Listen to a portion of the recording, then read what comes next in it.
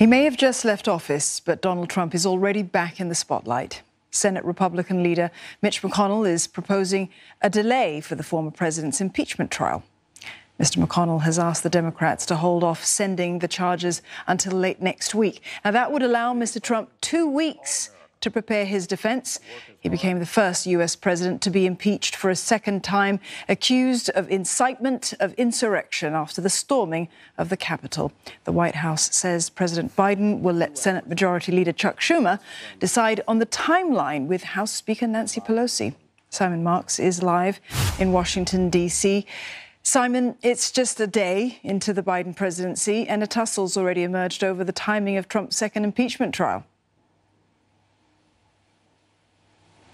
Yeah, it's complicated, this one, for everybody up on Capitol Hill and indeed for the White House, because the Democrats are concerned that if the impeachment trial doesn't take place for several weeks and the Republicans are, pros- are proposing at least a two week delay, uh, then it is first of all going to uh, gather attention right in the middle of Joe Biden's first crucial 100 days. And secondly, uh, that it is going to uh, divide the uh, amount of time that the Senate has uh, available to get many of Joe Biden's uh, picks confirmed and onto his team, not just the senior level cabinet picks, but many of the lower level picks that have to be uh, confirmed by the US Senate. Uh, the Republicans are saying it's only fair to Donald Trump now that he has identified a lawyer, uh, a man by the name of Butch Bowers from South Carolina, is going to represent him at the impeachment trial whenever it begins. The Republicans say, got to give him two weeks to prepare a defense. Uh, how all this works itself out is going to be largely up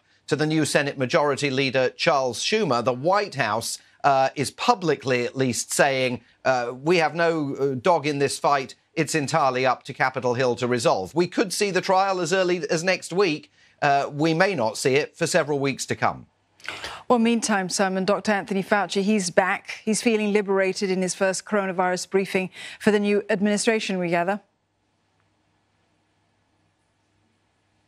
Yeah, it was extraordinary. I mean, he was like a different man behind that White House podium last night and openly talking about his sense of relief, as he put it, in being able to come to the White House podium. And for the first time, if he was asked a question that he didn't know the answer to, he was able to say, I don't know the answer to that. I'm going to have to go away and look at it and come back to you, rather than guess uh, in order to appease uh, a political master, namely the former president of the United States. He literally described himself as liberated, not least because he said it was made absolutely clear to him by President Biden just 15 minutes before that briefing that the central thrust of US government policy towards COVID 19 is now to be led entirely by the science and to allow doctors like Anthony Fauci, who were denigrated, undermined, and undercut by President Trump at every turn to present the facts to the American people. So, very much, he argues, a new day in America's approach to COVID 19.